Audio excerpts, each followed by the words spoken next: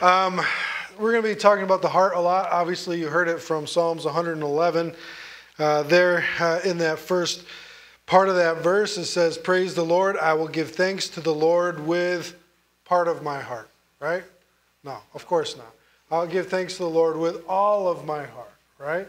And that's what the Lord desires from all of us is that we would come and worship him and thank him with all of our heart, being totally connected, totally committed, totally vulnerable in his hands to uh, have a relationship with him as we would have a relationship with some of the most significant people in our lives. Hopefully, we're fighting for um, clarity and we're fighting for um, um, intimacy in our relationships, and, and that should be true of the God that we serve as well. In this time of communion, then, we continue on with that idea of uh, having a heart that is right before the Lord. If you want to go to 1 Corinthians chapter 11 with me, we get the section of scripture that we always read in regards to the Lord's Supper. Um, obviously, when we were talking about Frog Club as well, he was talking about the heart and doing things full on for the Lord, not half heartedly, not just, you know, making it look good with a lot of molding on your life, but really, really being sold out as well. Here again in 1 Corinthians 11, we have that same kind of heart attitude that needs to be right before the Lord. We really need to make sure that our heart is right before the Lord. And as we get into the sermon hour, we're going to be talking about the heart again once more. Um, just as a, a, quick word of how we do things in our church, there are some churches who practice closed communion. Uh, we are a church that practices open communion. If you love the Lord uh, with your, all your heart, with all your soul, and with all your mind, if you've trusted Jesus Christ as your personal Savior and it is your desire to walk with Him and you're trusting in Him by faith uh, in the promised life to come, through the blood of Jesus Christ, then we want to encourage you to take part in the communion time with us. Uh, it would be our joy to have this celebration time uh, with you. 1 Corinthians chapter 11, then, beginning in verse 23, it says this way For I have received from the Lord that which I also delivered to you, that the Lord Jesus, in the night that he was betrayed, took bread. Verse 24. And when he had given thanks, he broke it and said, This is my body, which is for you. Do this in remembrance of me. In the same way, he took the cup also after supper, saying, This is the new covenant in my blood. Do this as often as you drink it in remembrance of me. For as often as you eat this bread and drink the cup, you proclaim the Lord's death until he comes. Therefore, whoever eats the bread or drinks the cup of the Lord in an unworthy manner, because his heart isn't right, because he's not in step with the Lord, shall be guilty of the body and the blood of the Lord. But a man must examine himself, and in so doing, he is to eat of the bread and drink of the cup. Okay, so we need to participate in communion. We need to proclaim the Lord's death until he comes. And that helps us stay centered on him, stay centered on the fact that we are desperately wicked and we need a Savior. And every time we take this communion, we're saying, Thank you, Lord, for dying on the cross for my sins and covering my sins. So we need to take communion to proclaim it, even to our own hearts, how desperately lost we would be without our Savior, Jesus Christ. But when we come, we are to examine our heart. Just make sure that you and Him are good, that you and Him are right, that there's nothing impeding that relationship. And in so doing, please, the command is take the cup. Um, but it does say here with a warning if you don't do it correctly. Verse 30 For this reason, many among you are weak and sick, and a number sleep. But if we judged ourselves rightly, we would not be judged. But when we are judged, we are disciplined by the Lord, so that we will not be condemned along with the world. And hopefully, there's a big amen in your Bible right after that point. We do not want to be condemned along with the world. Okay? If we're getting condemned along with the world, we're on our way to hell. We're on our way forever apart from the God of the universe. Okay? If we experience his discipline now, praise God. You are a daughter, you are a son of the, of the king. And praise God for the discipline in your life to keep you humble and to keep you close to him. Praise God for that. So then, my brethren, when you come together to eat, wait for one another. If anyone is hungry, let him eat at home, so that you will not come together for judgment. The remaining matters I will arrange when I come. So I'm going to ask uh, Elder Frank Porter to come this morning, and we're going to pass out the plates. And as we pass the plate, um, wait for us. We'll open up the uh, cup and the bread together, and we'll say a word of prayer as we do it. But in this moment that we have, just examine your heart before the Lord. Okay?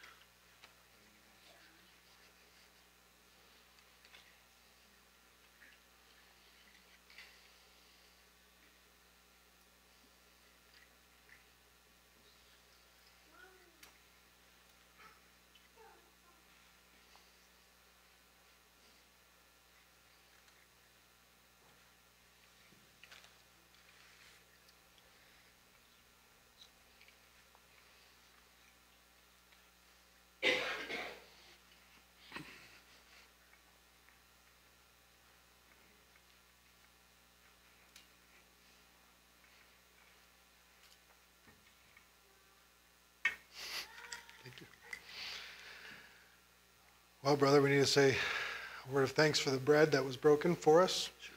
Want to give that prayer for us? Sure. Heavenly Father, we come humbly before you again this morning uh, with this time of remembrance of the sacrifice that you made for us on that day on the cross. Uh, we think of your body that was shed and broken and And that's just the beginning. That you took all our sins on you and wiped our slates clean. We can't thank you enough for that. So uh, right now we just praise you for the sacrifice of your body. In Jesus' name, amen. Let's take this uh, bread together, okay?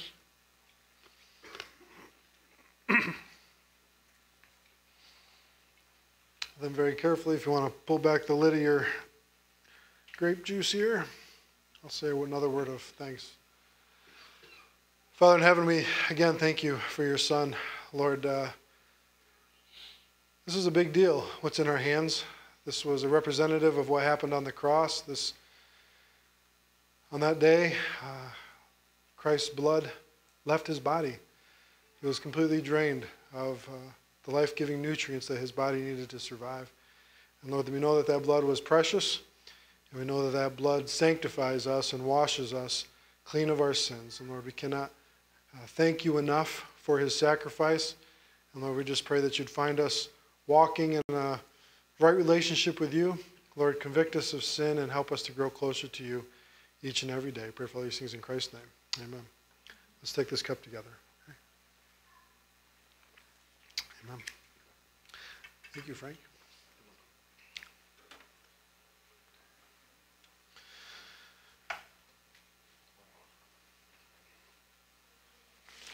Just before the sermon, I'll give you a, a, pastoral prayer here. Uh, for the sake of time, um, I'm just going to go through some of these names that are on the on the list. And uh, with that being said, I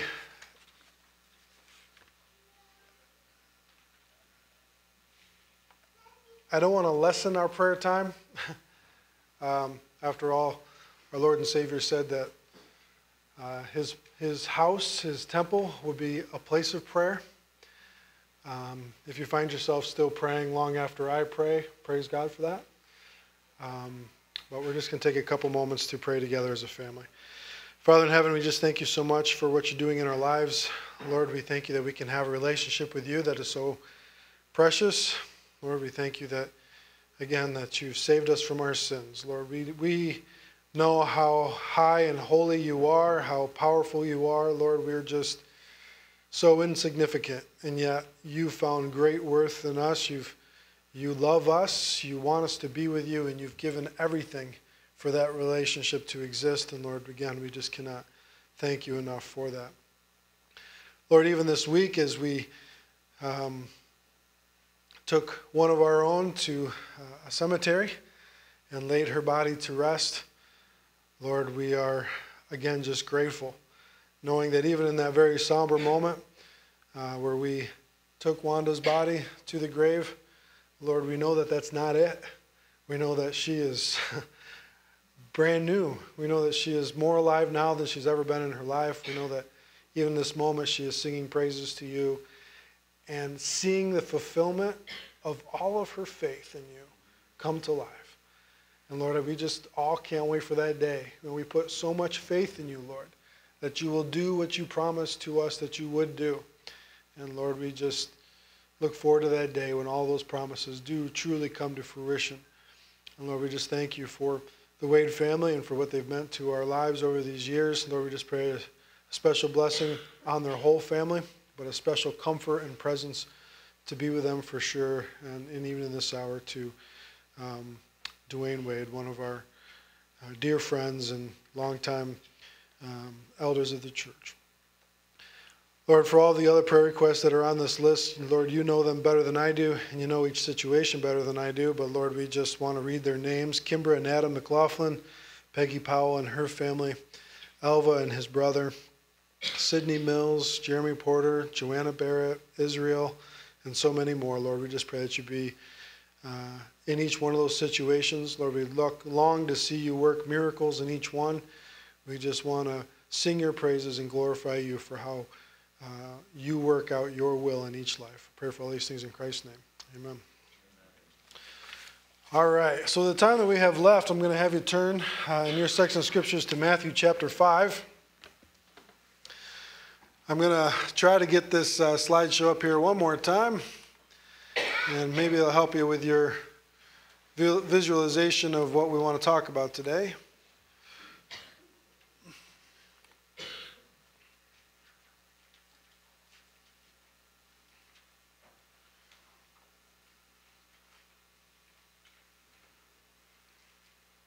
Okay. Uh, for a while now, as you know, if you've been with us or if you've followed us on uh, the YouTube channel, uh, we have been in Matthew chapter 5. This is Again, as we've said from the beginning, probably the most important section of Scripture that you could possibly read. Uh, hope to understand because you're reading the words of your Savior. You're reading the words of the Lord Jesus Christ. You're reading His most important, most impactful, most powerful sermon that's ever been preached on the face of the earth. I mean, to be in this text right now and to have His words recorded for us 2,000 years later is amazing. You know, what an amazing thing to have to be able to hear the heart and the mind of your Lord and Savior Jesus Christ.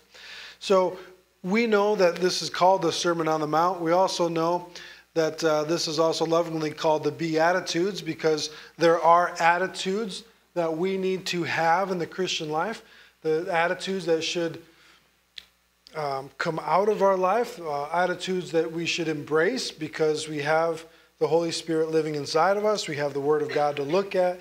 And so we need to have a correct heart attitude, if you will, towards the God of the universe. And so for that, or to that point, we read here in Matthew chapter 5, uh, in these first, uh, I'm going to read 22 verses, I think, this morning.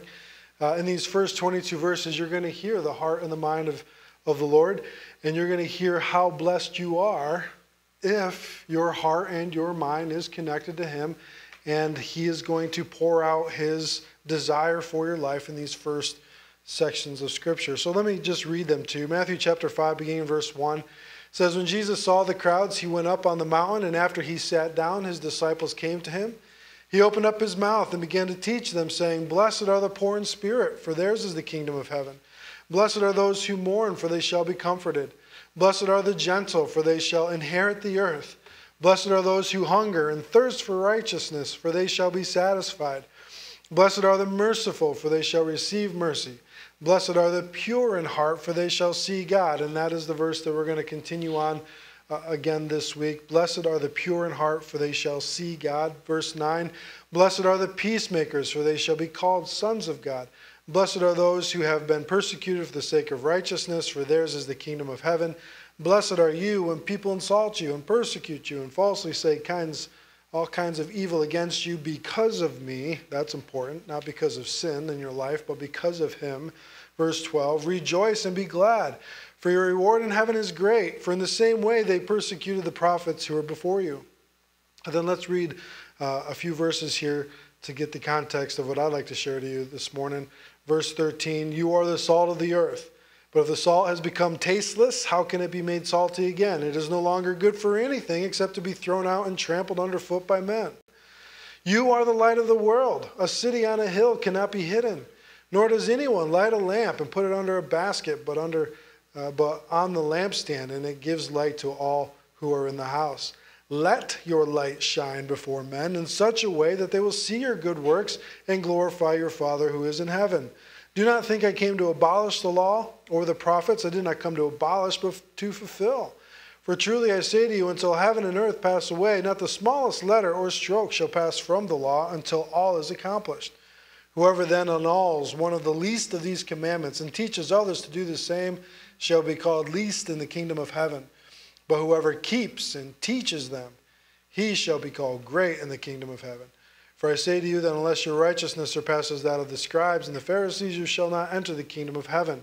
You have heard uh, that the ancients were told, You shall not commit murder, and whoever commits murder shall be liable to the court. But I say to you that everyone who is angry with his brother shall be guilty before the court, and whoever says to his brother, You good for nothing, shall be guilty before the Supreme Court. And whoever says, You fool, shall be guilty enough even to go into the fiery hell.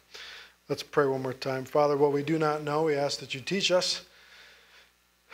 And Lord, what we do not have, we ask that you give us. Most importantly, Lord, we pray that you transform us into the likeness of your Son. Pray for all these things in Christ's name. Amen.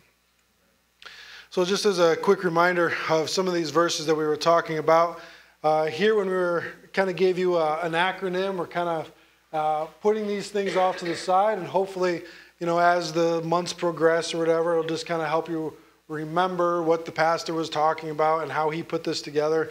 Uh, I hope that it blesses your life in the future. But in verse 3, for example, where it says, Blessed are the poor in spirit, we talked about how that relates to your mind, the intellectual side of who you are. Verse 4, Blessed are they that mourn. This is the emotions, the proper emotional side of who we are. Verse 5 Blessed are the meek. These are our actions. This is the proper way a child of God should act underneath the influence of the Holy Spirit. Blessed are those who hunger and thirst for righteousness. This is, this is talking about the love that we have, the motives of our heart, um, uh, the things that we look for and long for. Verse 7 Blessed are the merciful, for they shall receive merciful. And here we kind of pause and we just talked about individual stories, right? We just talked about how merciful our Father in heaven is. And likewise, we want to bring this down even to our own life. What's our individual story? Are we merciful? Are we forgiving or aren't we? Because scripture is clear if you cannot forgive your brother, you will not enter the kingdom of God. Okay? You need to reciprocate the forgiveness that was given to you. If God is going to forgive all of your sin, and yet you cannot forgive one of your family members or one of your brothers or sisters, that's a big problem. That's a big problem. Okay? Verse 8 Blessed are the pure in heart, for they shall see God. And last two weeks ago, we started talking about this idea of doing a good examination, doing a good examination on our heart. And we looked at 2 Corinthians 13:5 for just a brief context of that. Again, I just wanted to kind of give you a sermon as simply as I possibly could. I'm just trying to make it easy on you by, by uh, saying that there's three different growths in a Christian life. And, I'm, and again, I'm just making this as sermon as easy to understand as possible. There's probably 10 different growths in a Christian life, but I'm just going to boil them down to a few. And last time we were together, we talked about some of those elementary truths that we need to understand. For example, if you're just in elementary school, if you're just coming into the faith, if you're just finding the Lord for the first time, if you're just establishing a relationship with Him, then one of the most elementary things that we need to understand is that we need to acknowledge the fact that we have an impure heart. Okay? Acknowledge it. Don't shrug it off like, well, I'm not as bad as that guy. No. If you've told one lie, you have fallen short of the glory of God. Okay? You need to acknowledge that there's impurity in your heart. We also need to acknowledge that we were at one point part of this world. And we looked at 1 Corinthians 6, 9 through 11 about that. We also need to acknowledge that we were lost and we were carried away by the lust that was in our own heart. Okay? James chapter 1, 14 and 15 talked about that. You need to acknowledge that we're all sinners. Amen? I mean, we're all sinners. We're all trying. We're all reaching, okay? But if it wasn't for the blood of Jesus Christ, we would never make it.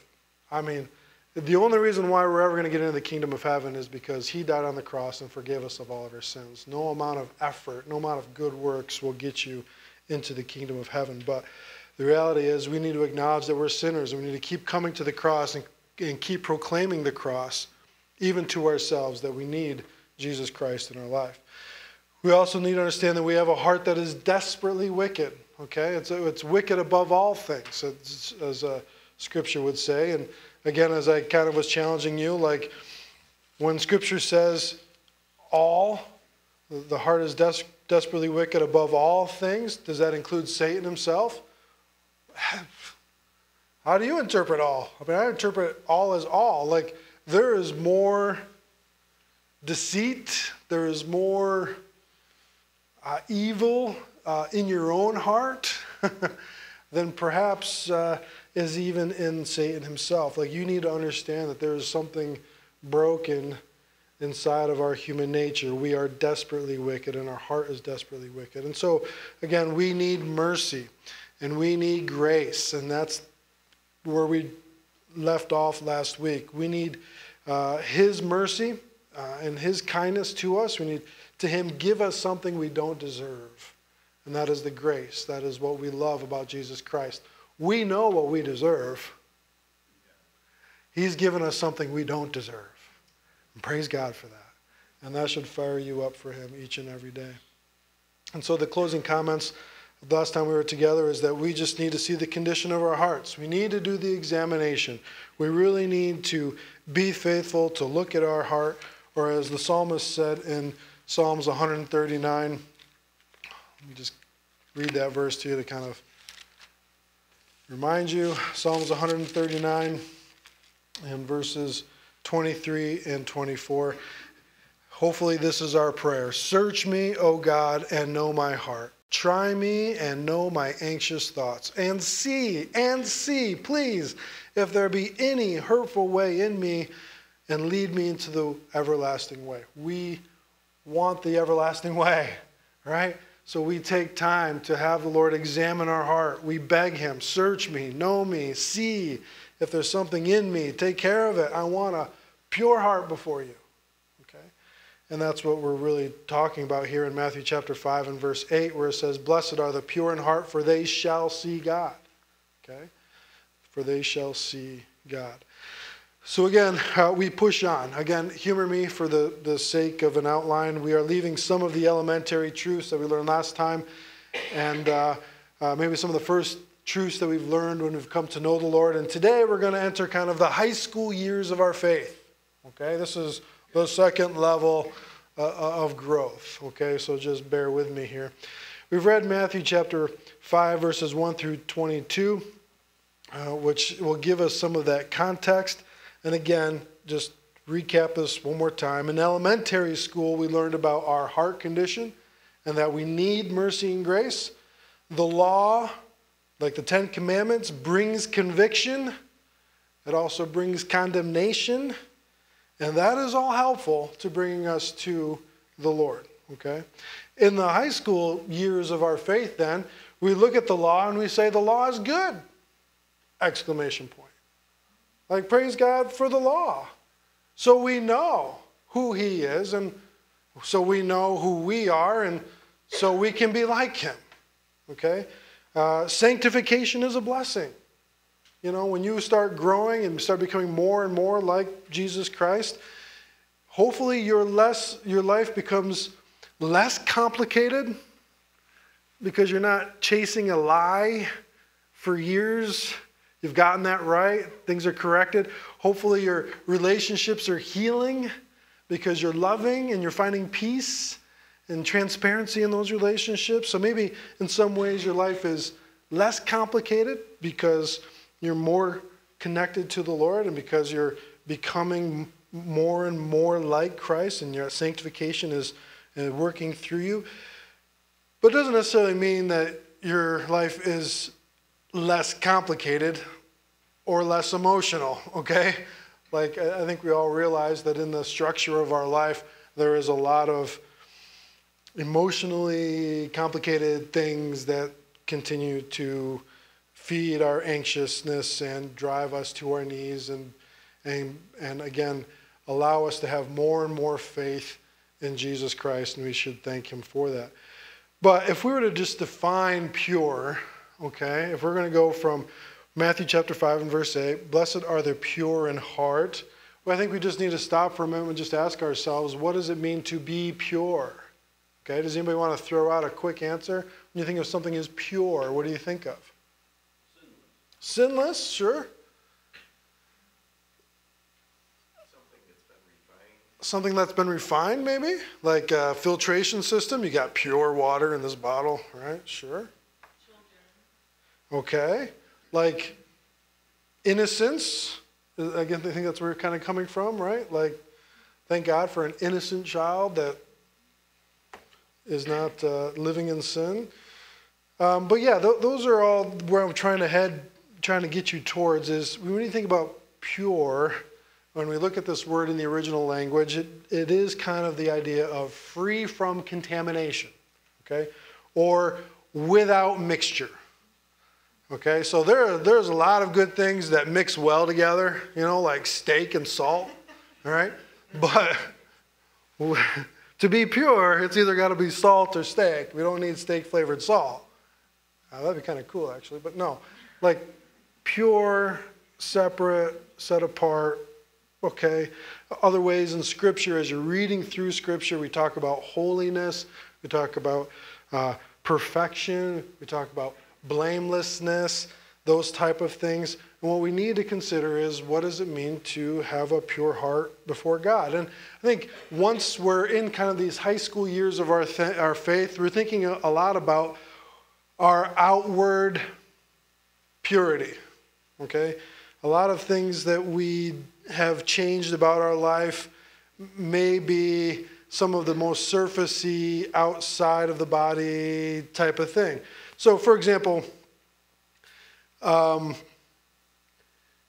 when we talk about being outwardly pure, um, maybe if I don't know, uh, you've lived. This is a, this is a If you were to give your daughter a purity ring, right? You're asking her to stay pure till marriage, right? It's kind of an outward reminder. Um, it is. It does affect the heart, but from the outside, we hope that you know our kids will remain pure um, to the day of their marriage. Uh, even in the day and age that we live in, there was a purity movement there for a while. Um, in fact, the, the, the world knows what it means to be uncontaminated in that way, in the sense that they understand, like, this is a terrible example, but what is a uh, chastity belt? You ever remember seeing one of these? Whoever created these things, like they were, they were trying, okay, to live a pure life. They would they would strap on metal underwear, all right, in, in an effort to stay pure, uh, you know, in their in their life. Okay, um, these are some of the outward things that uh, that people try to do. This was, I think, Maid Marian's uh, famous uh, whatever. The other thing that we do is, you know, we establish some uh, groups and stuff like Promise Keepers, right? It's a like an outside organization. We try to uh, keep promises to our our family and that type of stuff that we're going to live a holy life. There are some faith organizations like the Anabaptists. If you, when you think about the Amish community, which we have around our community, uh, they were first Anabaptists. They were a lot like us, actually. And then they, they continued down a path of trying to live for the Lord in a very conservative uh, way in which you see things that look a little extreme to us, but it's not extreme to them. You know, they, they are trying, like uh, the Mennonite church as well, to just live very simply. They're just trying to cover their outside of their appearance. So, you know, men were not attracted to their women, and women they're not, you know, so much attracted to their men. They're they're trying to, you know, protect the outside appearance of who they are in an effort to, you know, live as purely as they possibly can. Okay. Another way to think about this uh, is actually from Matthew chapter five, where it talks about being a light on a hill. So in Matthew 5, verses 14 through 16, it says, You are the light of the world. A city on a hill cannot be hidden, nor does anyone light a lamp and put it under a basket, but on a lampstand, and it gives light to all who are in the house. This city on a hill is a really good metaphor. It's a really good analogy, whatever you want to say, in the sense that our life should be so visible to the world. You know, people should know exactly who you are. Your life isn't hidden. It's not like as Christians we live in the shadows, you know, and we're like part of the ninja community or something, you know, like everything is secret. No, like our life should be on a hill, you know, like different, uh, obviously unique, you know, and not hidden. Like we're we're trying to live as as purely and as righteously as we possibly can, and hopefully. Uh, as the scripture goes on to say, people will see our good works and glorify our Father in heaven. We don't, we don't need the glory, okay? But hopefully, our good works and our solid actions and our outward actions of our life um, make people wonder what's different about us or what's driving us to look and act differently in the day and age that we live in. What we also find about this phrase of uh, or, or about, I should say, what we find is true about the religious community just in general is that once you are kind of out of the shadows and like for this example you live like a city on a hill okay um, criticism will naturally follow okay? Um, so, for example, criticism will always follow the religious community. It will, it will always be that way. Anytime, really, if, if you even think about your work life, anytime you're acting differently than your employees or your coworkers, you get some criticism for that, right? Like, how come you're not part of the group? How come you're not like us? How come you're not doing the things that, that we're doing? This is the same kind of thing that I'm trying to drive you towards is that criticism will always follow the religious and for ages now, people have considered whether or not the religious are in fact pure in heart or they're hypocrites. Like you, you see this city on the hill and you wonder, yeah, but but is that really them? Right? Are they really pure in heart? Are they really Christ followers or is this just a sham? Is this just a, a farce, you know, of who they are? And so oftentimes you know, we get challenged as to whether or not we're a hypocrite. So someone wrote this once someone who conveniently forgets their faults to point out someone else's would be a hypocrite, right? The question becomes for even us as believers uh, are we hypocrites? You know, we're so consumed with uh, everybody else in our life that we conveniently forget about our own walk. We're, we're quick to judge our brother or sister for sin in their life, not so quick to examine our own heart right? And the world kind of picks up on this. our friends pick up on this. If someone really knows you, like your wife or your children, like my children, for example, they will tell you point blank, my father's the pastor and he's a hypocrite. He lives like a sinner six days a week. I mean, she would I hope she wouldn't say that, but somebody, somebody, somebody would know, okay? Or a hypocrite. The good thing about being a hypocrite is that you get to keep your values, right? And it's so true. You know, like you come to know the Lord and you value whatever this is. You, oh, I love you, Lord, totally. You know, like I'm with you, whatever. But you're you're bringing your worldly values along with you. There's there's something that you're mixing into your life that really has no part of a believer's life.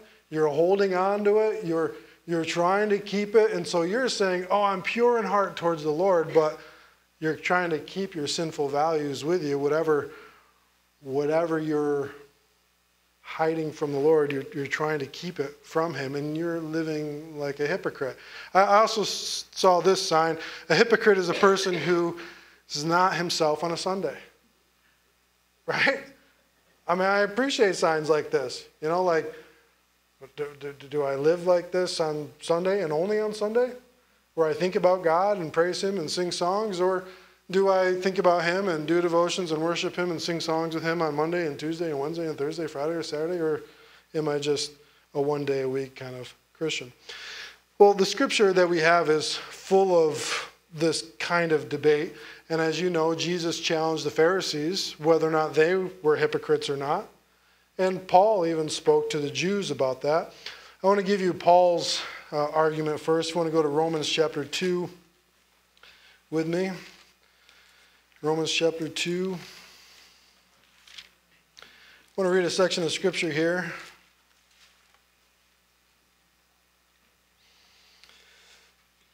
Romans chapter 2, beginning verse 17. He writes, But if you bear the name Jew and rely upon the law and boast in God, and know his will and approve the things that are essential, being instructed out of the law, and are confident that you yourself are a guide to the blind, a light to those who are in darkness, a corrector of the foolish, a teacher of the immature, having in the law the embodiment of knowledge and of the truth you therefore who teach another, do you not teach yourself? Ye who preach that one shall not steal, do you steal? You who say that one should not commit adultery, do you commit adultery? You abhor idols, do you rob temples? You who boast in the law, through your breaking the law, do you dishonor God? For the name of God is blasphemed among the Gentiles because of you, just as it is written. For indeed, circumcision is of value if you practice the law, but if you are a transgressor of the law, your circumcision has become uncircumcision. So if the uncircumcision man keeps the requirements of the law, will not his uncircumcision be regarded as circumcision? And he who is physically uncircumcised, if he keeps the law, will he not judge you who, through having the letter of the law and circumcision, are transgressor of the law? For he is not a Jew who is one outwardly, nor is circumcision that which is outward in the flesh, but he is a Jew who is one inwardly.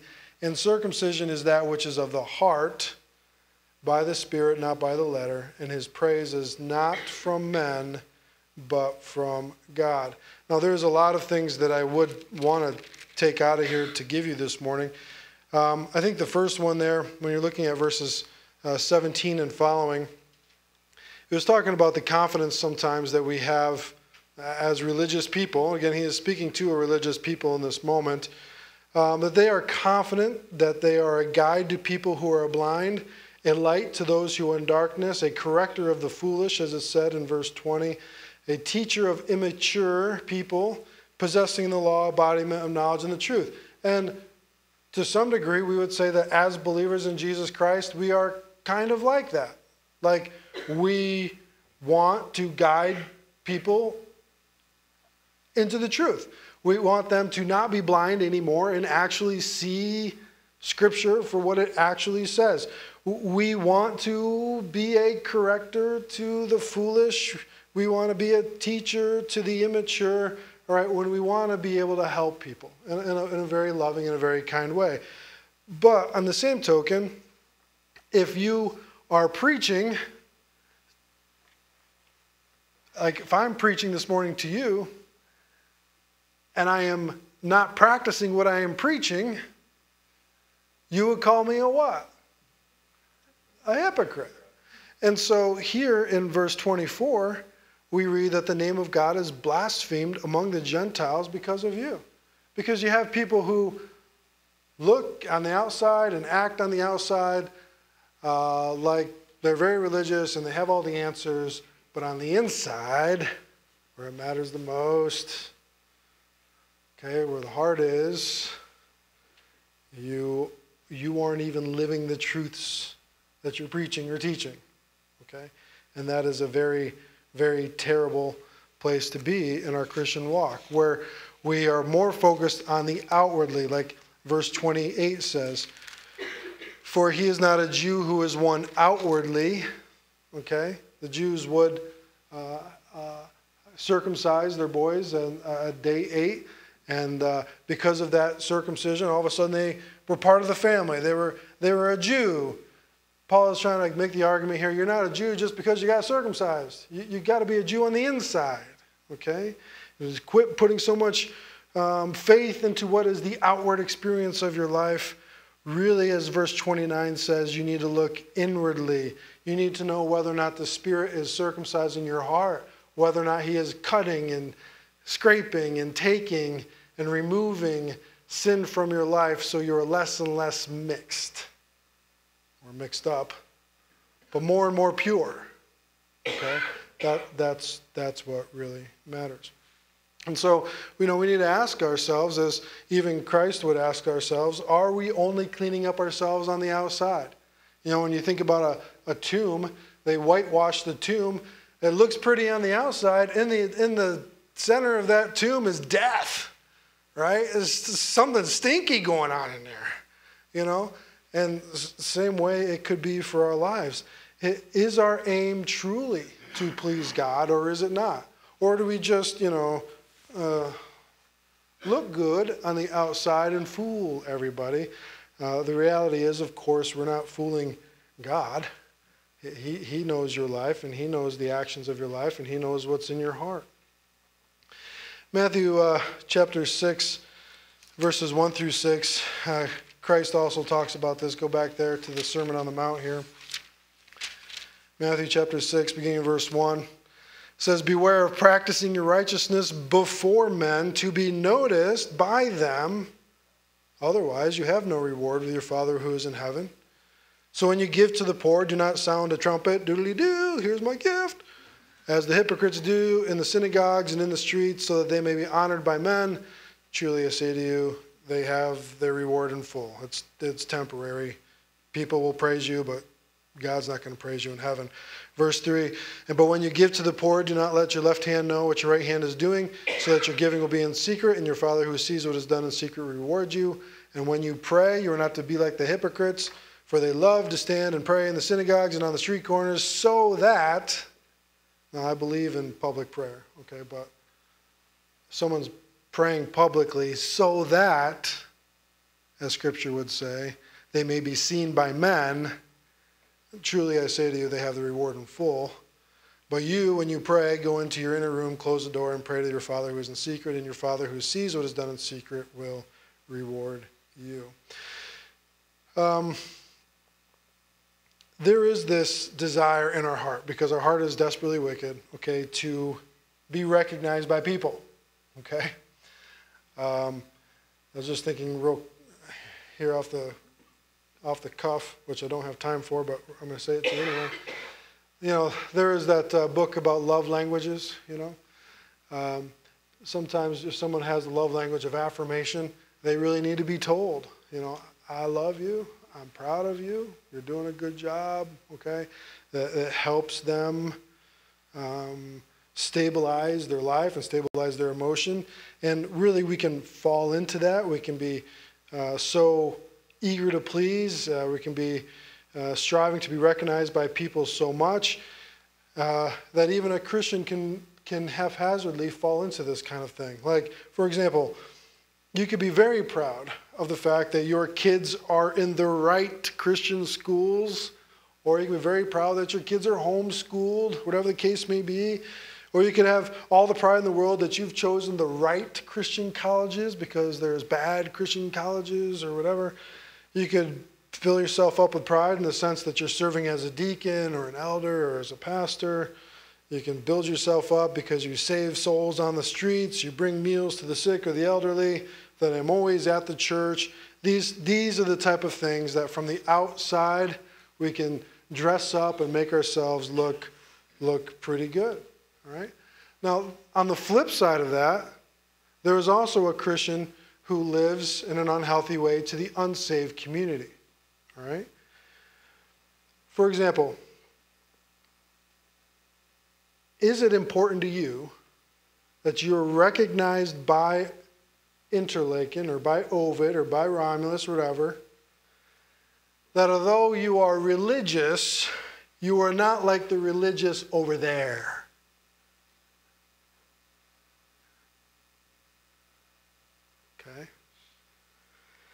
Oh, I know him, he is a follower of Jesus, but I'm thankful that he doesn't cram religion down my throat, right? And you, you can build yourself up. But that is who you are. If does it matter to you that the community would say, "Oh, he is one of us." He comes to my party even though people are drunk. He laughs at my jokes even though they're not all clean. He embraces me even though I choose to live with someone out of wedlock. He goes to non Christian music festivals with me. He thumbs his nose at his conservative church by wearing t shirts in a morning service, and the list goes on. And he's like, I like that guy. I like a Christian like that. He's thumbing his nose at the religious elite. And you can, you can build yourself up like that. Like, ah, I'm one of the community. The community loves me because my Christianity is so perfect. Because I'm, I'm, I'm more like them. Okay? The truth is, it's possible that you are actually living your life for you in the center of your comfort level and not really for God. And that could go either way. Okay? Whether you're super conservative or super liberal, it doesn't matter. Okay? You could fall into that same trap. And the question becomes are you deliberately trying to be noticed? Okay?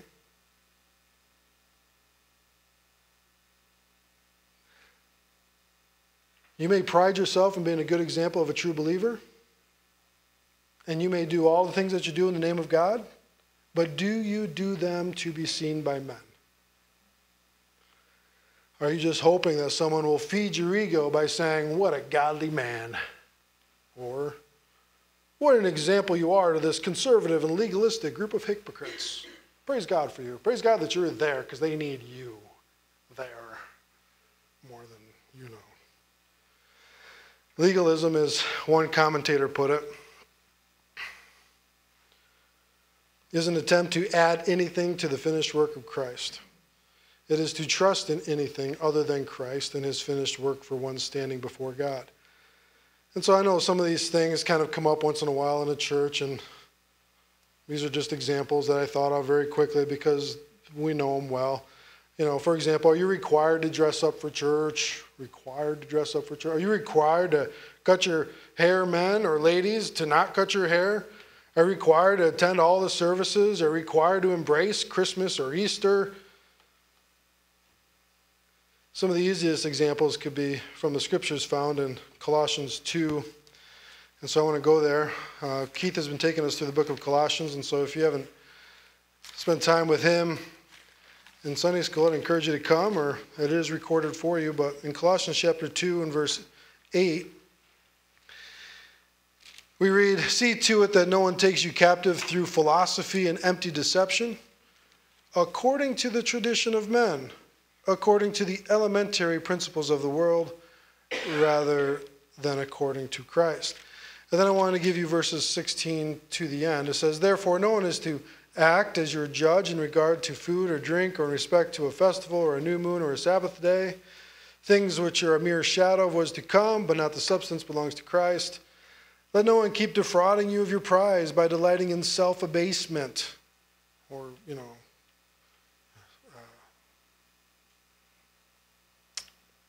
like they used to hurt their bodies in a religious way in order to live a more self controlled life.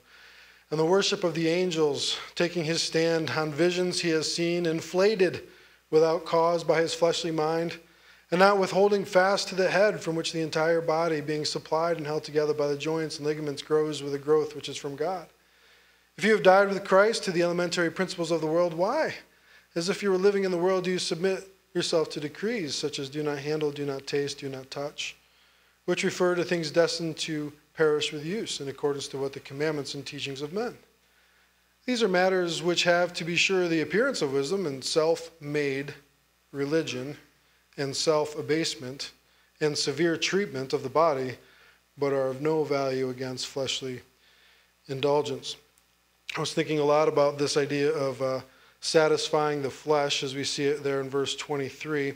And one commentary by the name of Barnes, he says it this way about this idea of to satisfy the flesh. He writes, The only effect is to satisfy or please the flesh, that is, the carnal and corrupt nature that we've been talking about for so the word flesh is often used in scriptures.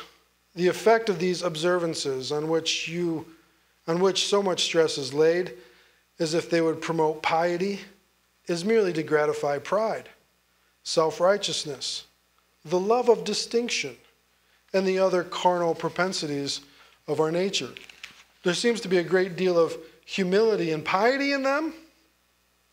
There is really little else than pride selfishness, and ambition. End quote. And I know that the church just globally has had a lot of conversations about legalism in the past, and yet we do not have nearly enough conversations about the self made religion that allows for anyone to behave in any way they want. This kind of unrestrained liberty or the license to act any way we want is the polar opposite of legalism is also harmful and just as sinful as any other. When Barnes says, here seems to be a great deal of humility and piety in them, there really is little, little else than pride, selfishness, and ambition. I think he hits the nail on the head. I want to just kind of give you a, a look at what I mean between legalism and license. And so here's a picture that I found online. I can't give credit to the person who gave it to me because I don't have it. But here, on one hand, you have legalism, uh, which is about bang the law and about keeping the law perfectly as if your salvation relies on you perfectly keeping the law. You know, if you've got to add anything to the work of Jesus Christ on the cross in order to think that you have salvation someday, you are dealing with legalism. Now, legalism could be even things like baptism. If you believe that you must be baptized in order to go to heaven, you're struggling with legalism. On the other side of it, though, you also have license. right? Um, we don't want to be legalistic. We know that we have liberty in the middle to, to uh, have a relationship with the Lord and to have the Father's favor. And there is a spirit of freedom, freedom. But as that guy is doing so well, he can just jump off the edge of that cliff and allow his freedom to license anything he wants to do. You know? I don't care what you say. I have liberty in Christ. I'm going to do what I want to do. Here's my license. Make a copy of it for future use because I'm going to use that again. Well, that's, that's not good either. Okay? You're going to have the wrath of God come on you for even that. So I'll give you a couple examples as we close. I know I'm already heading over, which I knew I was going to do. 1 Corinthians chapter 5 is a, is a good example here. In the first few verses, we see where license and liberty has taken over. 1 Corinthians chapter 5 is probably the most extreme example you've ever heard of.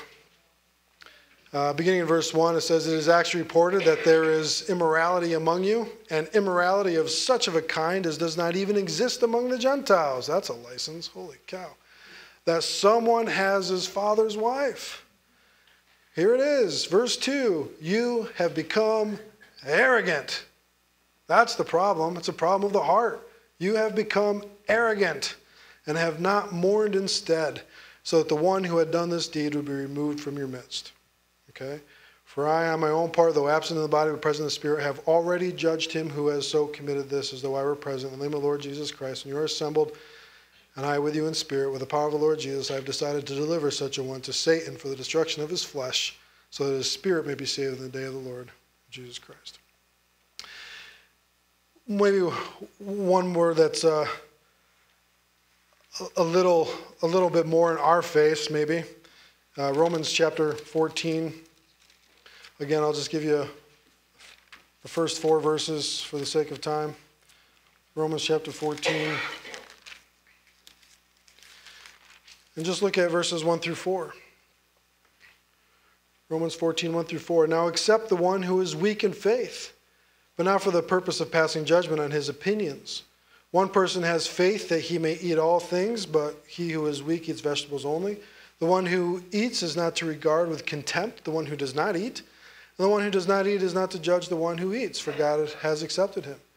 Who are you to judge a servant of another? To his own master he stands or falls, and he will stand, for the Lord is able to make him stand. The reality is, is when you're full of yourself and when you're full of pride and arrogancy, quarrels about your opinions happen. We quarrel a lot because there's a problem of the heart. In fact, James chapter 4 and verse 1 talks about it that way, in which he says, What is the source of quarrels and conflicts among you? Is it not the source of your pleasures that wage war in your members? You lust, here we are with an issue of the heart, and do not have, and so you commit murder. You are envious and cannot obtain, so you fight and you quarrel, but you do not have because you do not ask. And so, if you have a, for example, a, a difficult home, and if there's a two Christians who have difference of opinion, who is right? Who is right in that moment? Well, if it's your own personal personal home, I would say that if your son disagrees with you in your home about something and it is disrupting the, the unity of the home, the person who is at fault is the son. Because scripture says, honor your mother and your father. Period. Okay? And we could bring this right into the church. And also, if we have uh, disagreements of opinions and quarrels in the church, does not Scripture also teach the church to honor those who lead and labor to teach the Word of God before you? You may have a difference of opinion than the pastor. So be it. It happens. Scripture is pretty clear. You need to follow the leadership. That, that's, that's what's important. Okay? We could go on and on. Uh, maybe with the next week or so, we'll, we'll kind of finish this up. But what we're talking about here is an attitude of the heart. And Christ is saying that you are blessed if you are pure in heart. Okay? The second level of growth, which I often find people can stay here a very long time. Kind of like, I don't know if you know somebody who is 40 or 80 who acts like a 16 year old. I mean, pe- people can really kind of be trapped in a 16 year old mind for, for a very long time. I think here, in this second level of learning, people can be trapped for a, really long time because in the second level of growth, you see a propensity to create your own man made religion. You know enough about the Lord, and you know enough about faith where you just start establishing what you think the church should be. And you create your own church. You do it your own way. That's, that's that's propensity of our hearts.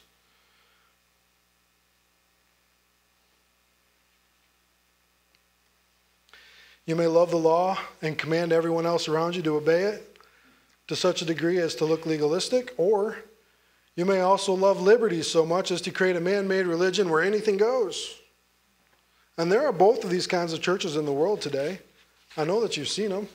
And we're not living so far from Ithaca where we don't literally see it. Okay?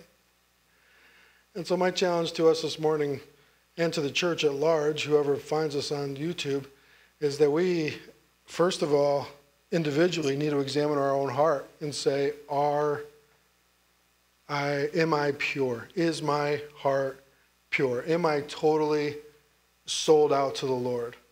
Okay? Working to rid myself of impurity or working to rid myself of selfishness and pride. Because if we find ourselves like Lot's wife in Genesis 19 and verse 26, we're going to suffer for it. Right? Lot and his wife had one command when you leave this place, I'm going to burn it on fire. Don't look back. Lot's wife had to look back because she was taking her values with her. And so she had to look back because everything she valued was behind her, not before her with the Lord in perfect unity. And I would pray that we're not like that church, that we wouldn't turn ourselves into a pillar of salt right here in our community and become ineffective for the sake of the gospel. Father in heaven, I thank you so much for your word and for its impact on our life. Lord, I just pray that you would really do your work in us in a magnificent way so that we may grow and labor and stay in unity and have a pure heart before you. Lord, we just pray that you look down at our little church and say, You see those guys? Ah, they, they got it. I'm so proud of them. I can't wait to add my favor to what they're doing in that little place. Lord, I just pray that all of us would have a pure heart before you and that we will go out in a spirit of unity. And for any of us who are struggling with a sin in our life, that we would just repent of it, make it right, turn it over to you, get back on the horse, and keep going down this difficult road that you've called us to. Lord, we thank you that you've called us to a difficult road and that you haven't left us stranded to do it all ourselves, but that you've given us the power of the Holy Spirit to walk with you and we pray that we would. We pray for all these things in Christ's name. Amen.